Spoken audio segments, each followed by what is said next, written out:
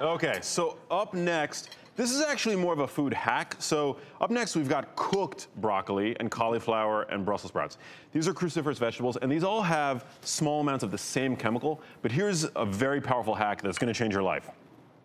When you cook cruciferous vegetables, it loses the, the ability to produce the chemical that we just talked about, that, that anti-cancer chemical. But when you sprinkle mustard seed powder on the cooked cruciferous vegetables, you regain that Really? ability to Really? create that chemical.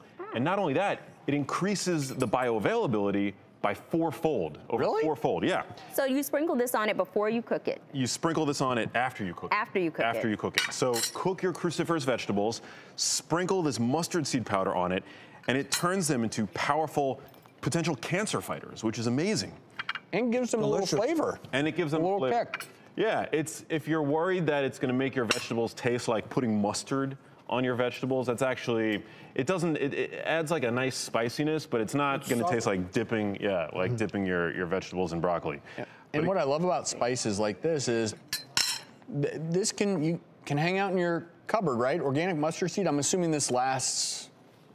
This, this says it's good for another two years, and that's probably at a minimum. So, Oh, yeah. Mustard seed, I like it. The other great thing is that mustard seed powder, another reason why you should add it to your food is that it's a great source of other trace minerals. So you've got a decent amount of magnesium in it, zinc. It's a very healthy spice.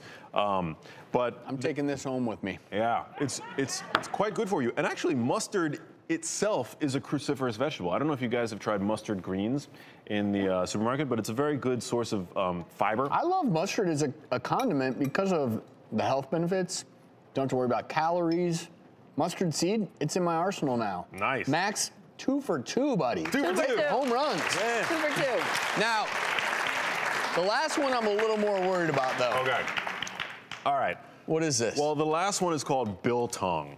Now, you might not have heard of biltong before, but it's very popular in southern African countries. Like in Johannesburg, they're all about this stuff. okay. Um, biltong is basically a healthier take on beef jerky.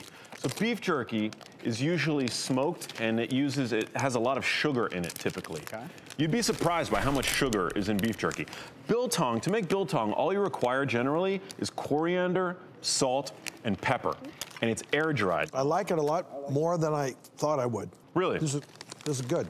It's also, they use uh, vinegar to cure the meat as well. So you're gonna notice a kind of a sharp vinegar flavor. There's a vinegar flavor. Yeah. Vinegar's, I am pleasantly surprised. You Man. did good, Max. I won today? Whoa, Good. makes me so happy. You know you win when your hosts have either eaten everything you've given them or they're taking it home with them. Max, honestly, these are three Killer. great tips. Thank you. Everyone out there, it's all about Sure. trying new I'm things. Nice.